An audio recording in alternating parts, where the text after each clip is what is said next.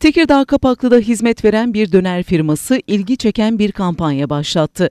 2,5 kilogram et döner yiyen kişiye gram altın hediye edeceğini duyuran firma talep patlaması yaşadı. Yarışmaya göre 2,5 kilogram et döner yiyebilenlere gram altın verilirken başaramayan yarışmacılarsa yiyebildikleri dönerin parasını ödeyecek. Kampanyayı duyan meraklı vatandaşlar işletmeye akın etti. Yarışmacılar genelde 600 gramla 1 kilo bandında pes ederken gram altınsa sahipsiz kaldı.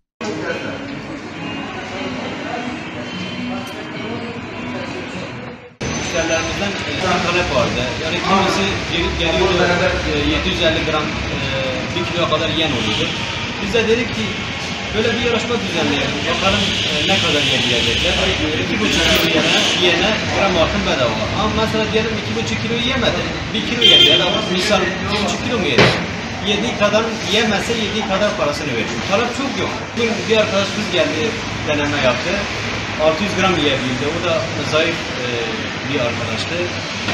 Ancak o kadar yiyebildi. Yani, e, bakalım ye, yiyecek çıkacak.